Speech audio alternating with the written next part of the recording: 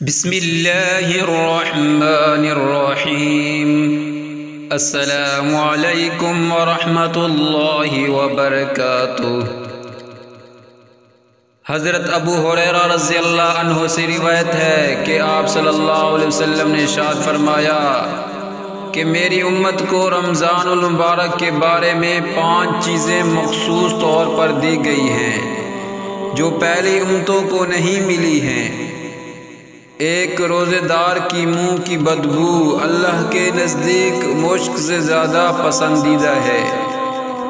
دوسرا، ان کے لیے دریا کی مچھلیاں تک دعا کرتی ہیں اور افطار کے وقت تک کرتی رہتی ہیں۔ نمبر تین، جنت ہر روز ان کے لیے آراستہ کی جاتی ہے۔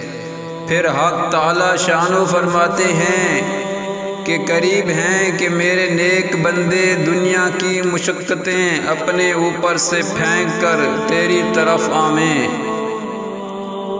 نمبر چار، اس میں سر کے شیاطین قید کر دیے جاتے ہیں۔ وہ رمضان میں ان برائیوں کی طرف نہیں پہنچ سکتے جن کی طرف غیر رمضان میں پہنچ سکتے ہیں۔ نمبر پانچ رمضان کی آخری رات میں روزہ داروں کے لیے مغفرت کی جاتی ہے۔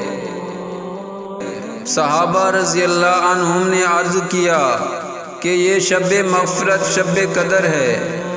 آپ صلی اللہ علیہ وسلم نے فرمایا، نہیں، بلکہ دستور یہ ہے کہ مزدور کو کام ختم ہونے کے وقت مزدوری دی جاتی ہے۔ مزید ایسی ویڈیو حاصل کرنے کے لیے ہمارے یوٹیوب چینل زینت الاسلام کو سبسکرائب کریں۔ جزاکم اللہ خیرہ